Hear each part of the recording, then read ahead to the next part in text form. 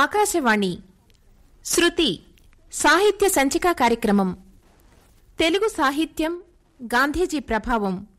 ఈనాటి కార్యక్రమంలో పాల్గొంటున్న వారు Shri D L N Murthy doctor Poranki Dakshinamurthy Shri Y Ramakrishna Rao doctor Ketu Viswanatha Reddy.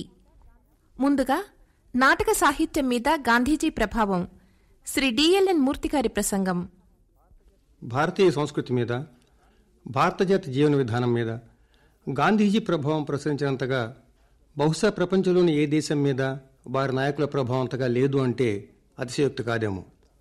కేవలం స్వాతంత్ర సమరం అనే ఒక్క అంశం కాక అంటదానితరం నిర్మూలన సర్వమత సామరస్యం దేశభక్తి అహింసా విధానం నిరాడంబర జీవితం మొదలైన విషయాలను ప్రబోధించి తాను ఆచరించడం ద్వారా ఇతరులను ఉత్తేజపరచడం లాంటి గొప్ప క్రియాత్మక జీవితం గడపటం మన జాతి మీద గాంధీజీ ప్రభావానికి ముఖ్య కారణమని నా ఉద్దేశం.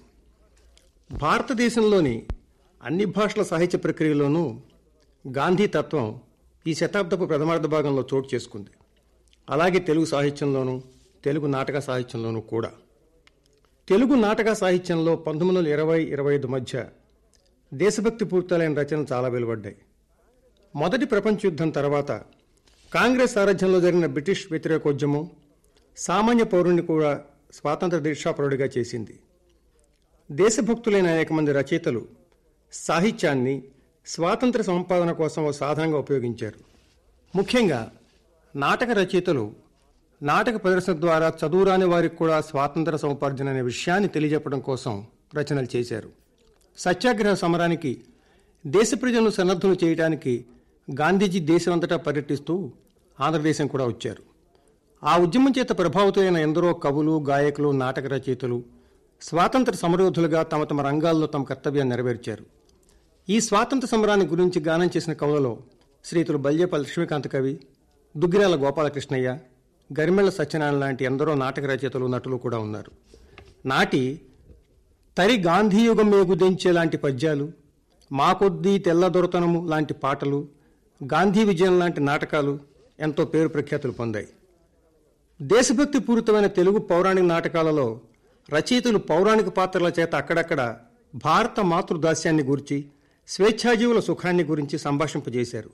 స్వాతంత్ర భావ ప్రకటన ప్రచ్ఛన్నంగా ప్రచారం చేసిన పౌరాణిక నాటక రచయితలలో శ్రీతులు చిరకమతి లక్ష్మీనరసింహం తిరుపతి వెంకట కవులు మొదలైన వారు మహాభారత కథలను అనుసరించి నాటక రచనలు చేసి బహుళ ప్రచారాన్ని పొందారు. ఈ నాటకాల్లోని పౌరాణిక నాయకులను వారి వారి గొప్పతనాలను ప్రజలు తమ స్వాతంత్ర సమరంలో ఆదర్శమూర్తులుగా నిలుపుకున్నారు. అలాగే చారిత్రక నాటకాలు కూడా. శివాజీ రాణా ప్రతాప్ లాంటి మహావీరుల కథలు బొబ్బిలి యుద్ధం లాంటి స్థానిక చరిత్రలు కల నాటకాలు ప్రజలను స్వాతంత్ర పోరాటం వైపు ప్రత్యక్షంగానూ పరోక్షంగానూ కూడా పురికొల్పాయి. ఇలాంటి రచనలన్నీ పంతొమ్మిది వందల ఇరవైకి ముందే తెలుగునాట వెలువడ్డాయి. ఇరవై తర్వాత ఆనాటి స్వాతంత్ర పోరాటాన్ని ప్రత్యక్షంగా చూపించే నాటకాలు చాలా రచించబడ్డాయి దేశంలో జరుగుతున్న రాజకీయ ఉదంతాలను కాంగ్రెస్ కార్యకలాపాలను గాంధీజీ చేపట్టిన ఉద్యమాలను ప్రత్యక్షంగా చూపించడమే ఈ నాటకాల ఉద్దేశం. గాంధీజీ ప్రారంభించిన ఉద్యమం చేత ప్రభావితుడై గాంధీజీ ప్రబోధాన్ని కాంగ్రెస్ ఉద్యమ చరిత్రను నాటకాలుగా విరివిగా ప్రజలకు అందించిన వారిలో శ్రీ దామరాజు పొండ్రేకాక్షుడు గారు ముఖ్యులు. ఇరవై ఒకటి ఇరవై రెండు మధ్య వీరు రాసిన గాంధీ మహోదయం గాంధీ విజయం పాంచాల పరాభవం చాలా ప్రఖ్యాతి పొందాయి. తెలుగు నాటక సాహిత్యంలో సమకాలీన రాజకీయ నాటక రచనలు చేసిన ప్రథములు వీరేనని చెప్పచ్చు. గాంధీ మహోదయం లేదా నవయుగారంభం అనే నాటకంలో తిలక్ మరణం తర్వాత గాంధీయుగం ప్రారంభమైనట్లు రచయిత ప్రస్తావిస్తారు. గాంధీ విజయం లేదా నవయుగం నాటకంలో గాంధీజీ యుగం ప్రారంభమైంది మొదలు నాగపూర్ కాంగ్రెస్ మహాసభల దాకా జరిగిన స్వాతంత్ర పోరాటాన్ని చిత్రించారు రచయిత. నాటక ప్రారంభంలో కొంత పౌరాణిక వాతావరణం కల్పించారు. గాంధీ విజయం నాటకం నాందిలో గాంధీజీని ఇలా వర్ణించారు పొండ్రేకాక్షుడు గారు. కత్తులు లేవు శూలమును గాంధీవనును మొదలే ఉళక్కి నోరెత్తి ప్రచండ వాక్పటిమ నేనియుగు జాటడు. వైరి మీద దండెత్తగ సేన లేదు బలహీనము కాయము కోపతాపములు బొత్తిక సున్న. అట్టి ఘనమూర్తి మనోబలశాలి గాంధీ జేయెత్తి నమస్కరించి స్మరించదనిప్పుడు స్వరాజ్య సిద్ధికింది అలాగే పాంచాల పరాభవం నాటకంలోని కథావస్తువు పంజాబ్లో జరిగిన దురంతాలు. ఈ నాటకం బ్రిటిష్ పార్లమెంట్లో కూడా అలదరి కలగజేసిందట. శ్రీ శ్రీపాద కృష్ణమూర్తి శాస్త్రి గారు ఇరవై నాలుగులో రచించిన గాంధీ విజయధ్వజ నాటకంలో అప్పటి స్వాతంత్ర సమర పోరాటంలోని అనేక ఘట్టాలు కథావస్తువు. అసహాయోద్యమం ప్రారంభించడానికి అంగీకారం కుదిరి ప్రజలు గాంధీజీని పూజించడంతో నాటకం ముగుస్తుంది. ఈ నాటకంలోని ఓ సన్నివేశంలో నారదుడు ఇంద్రుడు బృహస్పతులు కాంగ్రెస్ను గురించి గాంధీజీని గురించి చర్చించుకోవటం విశేషం. ఈ నాటకంలో పాత్రోచిత భాషను వాడారు రచయిత శ్రీ శాస్త్రి గారు. వారిదే మరో నాటకం స్వరాజ్యోదయం. అలాగే డి. సీతారామయ్య గారి స్వరాజ్య ధ్వజం జంజాల అయ్యవారి శాస్త్రి గారి ఆలీ ప్రభుతుల నిర్బంధం బుద్ధవరపు పట్టాభిరామయ్య గారి మాతృదాస విమోచనం మద్దూరు అన్నపూర్ణయ్య గారి చిచ్చుల పిడుగు మొదలైనవి గాంధీజీ స్వాతంత్ర పోరాట ప్రేరణతో రచింపబడ్డ నాటకాలుగా పేర్కొనవచ్చు. ఈ రాజకీయ నాటకాలు అన్నిటిలోనూ ప్రాచీన సంస్కృత నాటక సాంప్రదాయమైన నాందీ ప్రస్తావనలు పాటించబట్టం ఇక్కడ గమనించదగ్గది. గాంధీజీ పిలుపు ఇచ్చిన మద్యపాన నిషేధాన్ని కథావస్తువుగా కాళ్ళకూరు నారాయణరావు గారు రాసిన మధుసేవ అంటరానితనాన్ని కథావస్తువుగా ఏ నీలకంఠ శాస్త్రి గారి హరిజనుడు ధర్మవరం గోపాలాచార్యుల వారి అస్పృశ్య విజయం ఓరుగంటి కృష్ణకౌండిన్యుడు గారి శ్రీ నందనార్ చరిత్ర దామరాజు పుండరీకాక్షుడు గారి విలాస్ విహార్ మత సామరస్యాన్ని ప్రబోధించే రామస్వామి చౌదరి గారి ఖూని అశోకం నూరి నరసింహశాస్త్రి గారి సోమనాథ విజయం కాళ్ళకూరు హనుమంతరావు గారి కాలేజీ గర్లు మొదలైనవి చెప్పుకోవచ్చు. ఇలా స్వాతంత్రానికి ముందు గాంధీజీ తెలుగు నాటక రంగాన్ని ప్రభావితం చేస్తే ఆయన మరణానంతరం కూడా తెలుగు నాటక రచయితలు గాంధీవాదాన్ని గాంధీ సూక్తులను తమ తమ రచనలో ప్రస్తావిస్తూనే ఉన్నారు. సమకాలీన నాటక రంగంలోని రాజకీయ వ్యంగ్య నాటక రచనలో ఈ ప్రస్తావన ఎక్కువగా కనిపిస్తుంది. గాంధీవాదులను చెప్పుకుంటూ ఈనాటి రాజకీయ నాయకులు స్వార్థ బుద్ధిని ప్రతిబింబించే నాటకాలు అనేకంగా వెలువడ్డాయి. డి. ప్రభాకర్ రచన గాంధీ పుట్టిన దేశం వనం మసూదన్ రాసిన అమ్మయ్యో గాంధీ బతికాడు జయప్రకాష్ రచన ఢిల్లీ పట్నం చూడరబాబు ఆకెళ్ళ రచన మందిరాజ్యం మురళీకృష్ణ రాసిన నాలుగో కోతి కొర్రపాటి రచన జై హింద్ ప్రజాయుద్ధం ది అన్వాంటెడ్ విజిటర్ రాజశేఖర్ రాసిన పునరపి సిస్లా రచించిన పంచమ వేదం మొదలైన నాటకాలన్నింటిలోనూ గాంధీజీ ప్రస్తావన ప్రత్యక్షంగానో వ్యంగపరమైన సంభాషణ ద్వారానో మనకు కనిపిస్తూనే ఉంటుంది. ఉదాహరణకి జయప్రకాష్ రాసిన గాడి నాటకంలో ఒక సంభాషణ ఇలా ఉంటుంది. సమయానుకూలంగా మసులుకోవటానికి మనకి ఆ భగవంతుడు బుర్రనిస్తే ఆ బుర్రని జాగ్రత్తగా కాపాడుకోవడానికి గాంధీ గారు మన టోపీ ఇచ్చాడు సమకాలీన నాటకాల్లో వస్తున్న కాంగ్రెస్ లేదా ప్రభుత్వ వ్యతిరేక నాటకాల్లో కూడా గాంధీజీని ప్రత్యక్షంగా విమర్శించిన రచనలు కనిపించవు. గాంధీజీ మీద వచ్చిన హాస్య లేక వ్యంగ్య సంభాషణలు నేటి రాజకీయ వ్యవస్థ మీద వ్యక్తుల మీద సూటిగా విసిరినవే కానీ వ్యక్తిగా గాంధీజీ మీద కానీ ఆయన సిద్ధాంతాల మీద కానీ కావని మనం గుర్తుంచుకోవాలి. భారతీయ సాహిత్యం కానివ్వండి తెలుగు నాటక సాహిత్యం కానివ్వండి మరొకరి ప్రభావానికి గురయ్యేదాకా గాంధీజీ ప్రభావాన్ని బయటపడటం అంత తేలిక కాదు.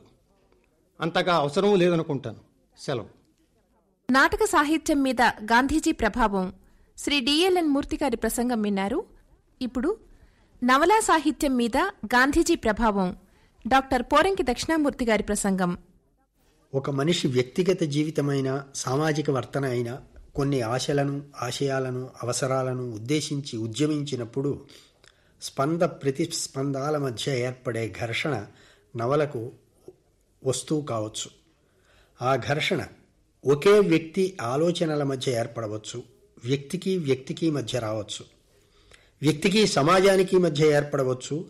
సమాజానికి పాలక వ్యవస్థకు మధ్య రావచ్చు. నూట ఇరవై నాలుగు సంవత్సరాల చరిత్ర ఉన్న తెలుగు నవల ఇలాంటి ఘర్షణలను తీరు తీరులుగా చిత్రిస్తూ ఉంది. నవల ఇతివృత్తం నిశ్చిత దేశకాల పరిస్థితుల ప్రమేయంతో కూడి ఉంటుంది కనుక అందులో వచ్చే పాత్రల మీద సన్నివేశాల మీద ఆనాటి సామాజిక రాజకీయాది ప్రభావాలు ప్రసరించే అవకాశం ఉంటుంది. సిద్ధాంతపరమైన ప్రభావాలు వ్యక్తుల పూనిక వల్ల ప్రాచుర్యం పొందినప్పుడు అవి ఆయా వ్యక్తుల పేరిట పరిగణనకు వస్తాయి. అలాగే వ్యక్తిగతమైన ఒకరి ఆలోచనలు ప్రాచుర్యం పొందినప్పుడు వాటి ప్రభావానికి సిద్ధాంత బలము సిద్ధించవచ్చు. సంఘ సంస్కరణాశయంతో మొదలైన తెలుగు నవలా రచన క్రమంగా జాతీయోద్యమానికి ప్రతిస్పందించింది. జాతీయ భావాలకు పరోక్షంగా ప్రాచుర్యం కలిగించటానికి చారిత్రక పౌరాణిక ఇతివృత్తాలను ఎన్నుకోవడం జరిగింది. బంకించంద్ర చటర్జీ ఆనందమఠం వంటి నవలలకు అనువాదాలు వెలువడ్డాయి. సమాజాభ్యుదయ దృష్టితోనూ జాతీయతా విస్ఫూర్తితోనూ వెంకట పార్వతీశ్వర కవులు కొన్ని స్వతంత్ర నవలలు కొన్ని అనువాదాలు వెలువరించారు. అహింస నిమ్నజాతుల ఉద్ధరణ అస్పృశ్యత వ్యతిరేకత సర్వజన సమతాదర్శనం వంటి ఆదర్శాలు భారతీయులకు కొత్తవి కావు. గాంధీగారు భారతీయ రాజకీయ రంగంలోకి ప్రవేశించక పూర్వమే ఆ ఆదర్శాలు రచయితలకు కథావస్తువులయ్యాయి. తల్లాప్రేడు సూర్యనారాయణ గారు పంతొమ్మిది వందల పదమూడులో ప్రచురించిన హేలావతి వెంకట పార్వతీశ్వర కవులు పంతొమ్మిది వందల పద్దెనిమిదిలో ప్రచురించిన మాతృమందిరం అన్న నవలలు నిమ్నజాతుల ఉద్ధరణను కథావస్తువుగా తీసుకున్నాయి. అయితే అనేక శతాబ్దులకు పూర్వం గుర్తింపు పొందిన ఈ ఆదర్శాలు ఆశయాలు కూడా వాటి కోసం ఒక శక్తిమంతుడు నిలిచి వాటిని ప్రతిష్ఠించినప్పుడు ప్రాచుర్యం పొందుతాయి. గాంధీ గారు దక్షిణాఫ్రికా జాతీయోద్యమ నిర్వహణతోనే ప్రపంచ దృష్టిని ఆకర్షించారు. భారతదేశానికి తిరిగి వచ్చిన తర్వాత జాతీయోద్యమ సారథ్యం చేపట్టారు. సత్యాగ్రహం అహింస సహాయ నిరాకరణ అస్పృశ్యత నివారణ హరిజనోద్ధరణం వంటి సాధనోపాయాలతో దేశ ప్రజలను కూడగట్టి ఉద్యమ చరిత్రను గొప్పగా మలుపు తిప్పారు. వ్యక్తిగా ఆయన నిరాడంబరులు సర్వజన సులభులు. ఆయన ఎంచుకున్న సాధనోపాయాలు ఉద్యమ చరిత్రలో అపూర్వమైనవి. అందువల్ల దేశంలో అతి సామాన్య వ్యక్తి వరకు అందరూ ఆయన పట్ల ఆకర్షణ పొందారు. అటువంటి అసదృశ మూర్తిమత్వం సహజంగానే ఎందరో కవులను కళాకారులను రచయితలను ప్రభావితుల్ని చేసింది. కొందరైతే ఆయన్ని కీర్తిస్తూ పద్యాలు పాటలు కట్టారు దేవతల పంక్తిలో నిలబెట్టారు.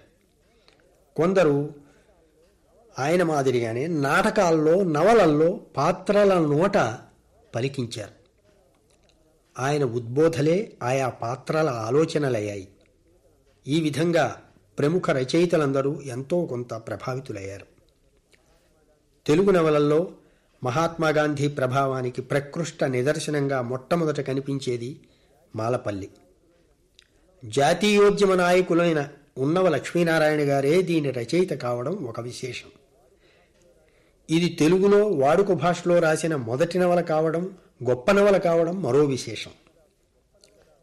ఇందులో రామదాసు సంగదాసు రామానాయుడు పాత్రలు అహింసాతత్వాన్ని రూపుగట్టినవి. దిగువ స్థాయి వారి విద్యా సముపార్జనకు అవకాశాలు కల్పించడం వారిని గౌరవంగా చూడటం వారి అభ్యున్నతికి కృషి చేయడం ఈ నవలలో కనిపిస్తాయి. గాంధీ గారు పేరు చెప్పకుండా ఆయన ప్రభావాన్ని చిత్రించడం ఉన్నవ వారి ప్రత్యేకత. ఈ శతాబ్దిలో మొదటి రెండు మూడు దశాబ్దుల్లో తెలుగు వాళ్ళ జీవన స్థితిగతులను చిత్రించిన నవల విశ్వనాథ సత్యనారాయణ గారి వేయి పడగలు. ఇందులో జాతీయోద్యమం వల్ల ప్రభావితమైన పాత్రలు కనీసం మూడు కనిపిస్తాయి. జాతీయ కళాశాలను స్థాపించిన కేశవరావు ధర్మారావు అతని స్నేహితుడు రాఘవరావు. అప్పటికి మహాత్ముడైన గాంధీ సహాయ నిరాకరణోద్యమం ఆరంభించి రెండేళ్ళైనది అంటూ విశ్వనాథవారు గాంధీగారిని అవతార పురుషులుగా ప్రజలు ఎలా భావించేవారో వర్ణించారు.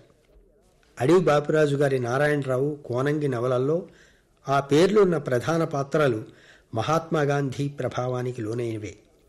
ఆయా పాత్రల ఆలోచనల్లోనే కాక సంభాషణల్లో కూడా గాంధీ గారి సిద్ధాంతాలను ఉద్యమ నిర్వహణ తీరు తెన్నులను చర్చింపజేస్తారు బాపిరాజు గారు.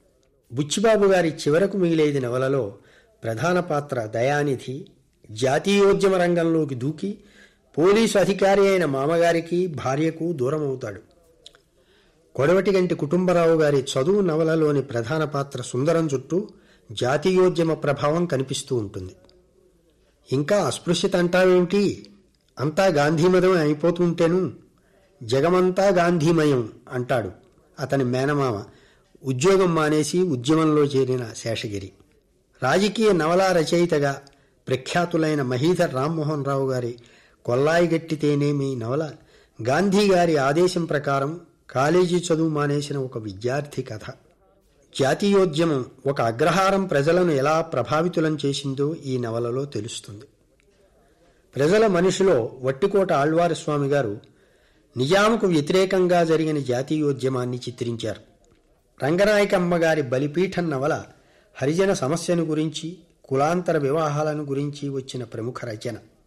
పోలాప్రగడ సత్యనారాయణమూర్తి గారి కౌసల్య నవలలో ఆమె భర్త సుమలత గారి జీవన కలశంలో వసంతలక్ష్మి గాంధీ గారి ఉద్యమం వల్ల ప్రభావితులైన వారే ఈ విధంగా మహాత్మా గాంధీ ప్రభావం తెలుగు నవల మీద ప్రస్ఫుటంగా కనిపిస్తుందని చెప్పవచ్చు. నవలా సాహిత్యం మీద గాంధీజీ ప్రభావం. డాక్టర్ పోరంకి దక్షిణామూర్తి గారి ప్రసంగం విన్నారు కదా? కవిత్వం మీద గాంధీజీ ప్రభావం ఏమిటో చెప్తున్నారు శ్రీ వై రామకృష్ణారావు. అక్టోబర్ నెల గాంధీ మహాత్ముడు అవతరించిన నెల. అతి సాధారణమైన ఒక వ్యక్తి ఆచంద్ర తారార్కం తనను మరచిపోలేనంతగా ఈ ప్రపంచాన్ని బోసినవ్వుతో సమ్మోహితం చేశాడు. ఇటువంటి మహాత్ముడు ఇంతకు పూర్వం ఎక్కడైనా అవతరించాడా? సందేహమే. ఈ సందేహం కరుణశ్రీ జంజాల పాపయ్య శాస్త్రి గారికి కూడా కలిగింది. అందుకే ఉత్తుంగశృంగ హిమాలయాన్ని ఇలా నిలదీశారాయన. ఏమయ్యా మిహికాచలేశ్వరుడా? నీ వెన్నాళ్ళనోయుండి ఈ సీమాంతమ్మున నిలిచిచూతువు గదా శీర్ష్యంబు పైకెత్తి క్షోణీమధ్యమ్మున ఎచ్చటేని ఎప్పుడేనిన్ బాపుజీ వంటి నిష్కామ ప్రేమ తపస్వి పుట్టెనే అహింసా బ్రహ్మ తేజస్వియై అంటారు. ప్రపంచంలో ఇతఃపూర్వం ఎవ్వరూ కని విని ఎరుగని అహింసా విప్లవాన్ని ఆరంభించి భారతదేశానికి స్వాతంత్ర్యం సంపాదించి పెట్టిన మహనీయుడు మహాత్మా గాంధీ. గాంధీజీ జీవితం ప్రేరణగా భారతీయ భాషలన్నింటిలో అపారమైన సాహిత్యం వెలువడింది. తెలుగులో కూడా స్వాతంత్రోద్యమ కాలం నుండి వర్తమాన కాలంలో కూడా గాంధీజీ ప్రభావంతో అపారమైన సాహిత్యం వెలువడుతూనే ఉన్నది. తెలుగు కవితపై గాంధీ ప్రభావం అన్నప్పుడు అటువంటి సాహిత్యాన్ని రెండు అంశాలుగా విశ్లేషించాల్సి ఉంటుంది.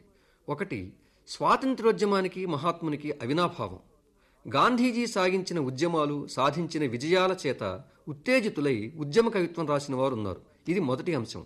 గరిమెళ్ళ వారి మా తెల్లదొరతనము అంటరాని వారెవరో కాదు మా వెంటరాని వారే వంటి ప్రసిద్ధ గేయాలు ఈ కోవకు చెందుతాయి. మాకొద్దీ తెల్లదొరతనం గేయం క్విట్ ఇండియా ఉద్యమాన్ని స్ఫురింపజేస్తుంది. అంటరాని వారెవరో కాదు అనేటువంటి గేయం గాంధీజీ ప్రబోధించి ఆశించిన అస్పృశ్యత నివారణని సూచిస్తుంది. గాంధీ మహాత్ముడు రాట్నమే మనకు స్వరాజ్యం తెస్తుందని చెప్పారు.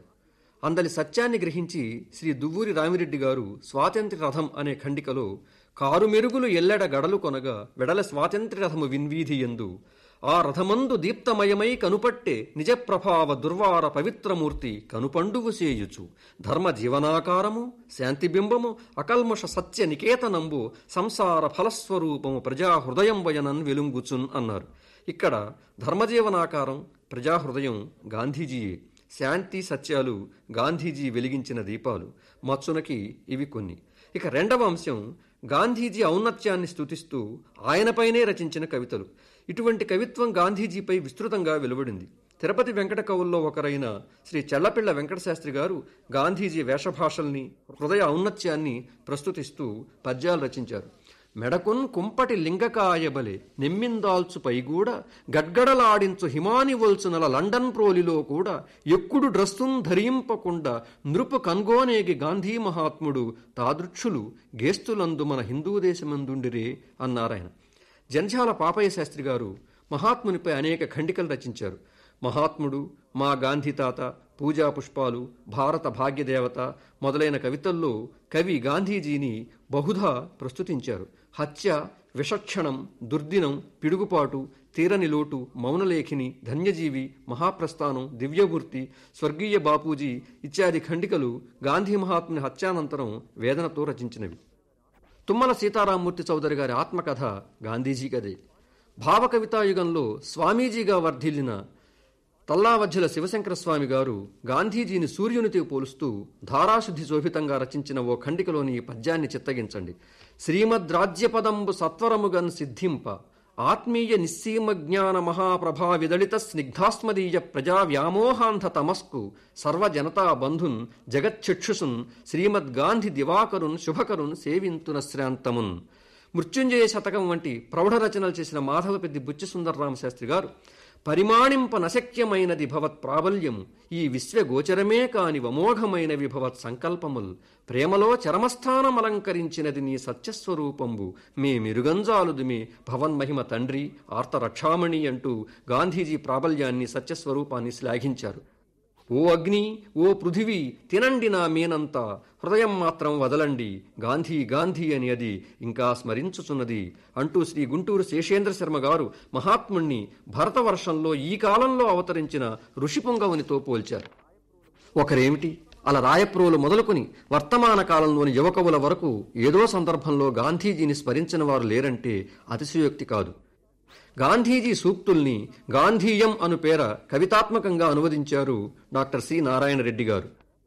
గాంధీజీ మరణం కవుల్ని కుదిపివేసింది శోకసప్త హృదయంతో కవులు ఘోషించారు. గాంధీజీ జీవితం భారతదేశంలో స్వాతంత్ర్య జ్యోతిని వెలిగించింది భారతీయ సాహిత్య ప్రపంచంలో తనదైన నూతనాధ్యాయాన్ని ఆవిష్కరించింది. కవిత్వం మీద గాంధీజీ ప్రభావం. శ్రీ వై రామకృష్ణారావు గారు చెప్పగా విన్నారు కదా? చివరగా కథా సాహిత్యం మీద గాంధీజీ ప్రభావం. డాక్టర్ కేతు విశ్వనాథరెడ్డి గారి వివరణ విందాం. భారత జాతీయోద్యమ రాజకీయాలను ముప్పై ఏళ్ళ పాటు ప్రభావితం చేసిన మహాత్మా గాంధీ ఆధునిక భారతీయ సృజనాత్మక సాహిత్యానికి ఒక ప్రధాన వస్తువయ్యారు. గాంధీజీ మొదలుకొని నిన్న మొన్నటి నెల్సన్ మండేలా వరకు నాయకత్వం వహించిన వివిధ జాతి విముక్తి ఉద్యమ నేతల్ని పరిశీలిస్తే మహాత్మా గాంధీ వ్యక్తిగా రాజకీయ శక్తిగా సాహిత్యాన్ని ఎక్కువగా ప్రభావితం చేశారు. పంతొమ్మిది వందల పదిహేడులో జరిగిన చాంపరాన్ పోరాటానికి మన జాతీయోద్యమ చరిత్రలో ఒక ప్రాధాన్యం ఉంది. చాంపరాన్ రైతుల ఉద్యమంతోనే గాంధీ భారత జాతీయోద్యమ రాజకీయాల్లోకి వచ్చారు. ఆ తర్వాత పంతొమ్మిది వందల ఇరవైలో జరిగిన కలకత్తా కాంగ్రెస్ అత్యవసర సమావేశంలో మహాత్ముడు సత్యాగ్రహ సమర నియమావళిని ప్రవేశపెట్టారు. సహాయ నిరాకరణ ఉద్యమం అప్పటి నుండి ప్రముఖ నినాదమైంది. రాజకీయ ఆచరణ మార్గమైంది. శుద్ధ ఖద్దరుదారణ జాతీయ విద్యా ప్రచారం రైతు సేవ అస్పృశ్యత నివారణ మద్యపాన నిషేధం ఇవి రాజకీయ నిర్మాణ కార్యక్రమాలుగా రూపొందాయి.